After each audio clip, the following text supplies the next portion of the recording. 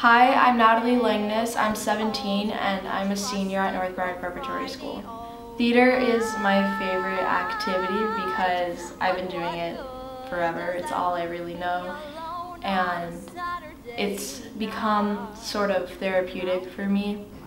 I've gained some of my closest friends, my closest relationships with people through theater and it's just something that I've, I've been passionate about forever and I see myself doing for a very long time. Ever since I was little, I loved performing and, you know, now I'm pursuing theater. So my biggest dream is to be on Broadway. I know it won't, may, maybe it will, but um, I don't know if it'll happen right after I graduate college, but I would like to, you know, start getting myself out there after college. I just want to perform and act throughout the day, I'm, if there's a show going on, constantly looking at my script or going over music. And then when school ends, that's when actual rehearsal starts. Whether it's a show, we're here until like 7 or 8 running dance numbers, scenes, songs. Um, it's a very rigorous routine.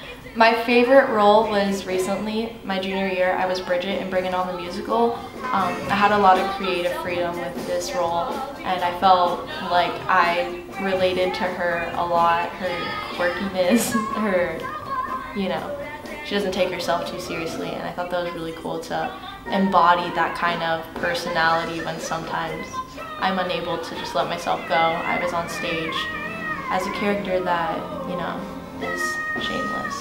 After college, I hope to live in New York City. Um, there's just so many opportunities there, obviously, for theater, and it's also just like a really respected place where, you know, the guy next to you or something is probably rehearsing for a show just like you.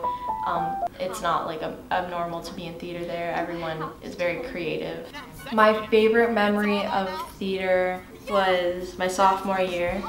Um, being Judy in 9 to 5 was one thing. That was an honor in itself, but getting to perform at Morsani Hall at the Florida State Thespian Festival in front of 2,600 people in 9 to 5 as Judy being main staged was uh, an experience I'll never forget. It kind of, you know, made me realize that theater is what I want to do. Being on the stage with the spotlight on you and, you know, the theater was so big so you couldn't see past like the first row.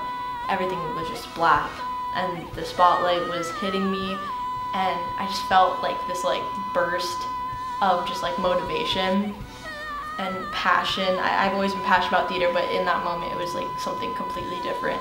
And at the end of the song, I received a standing ovation and I was crying.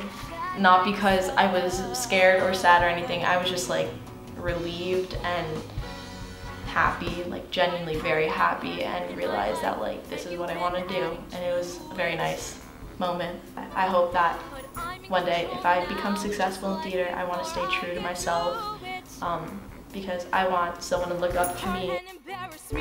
proving you don't give a damn.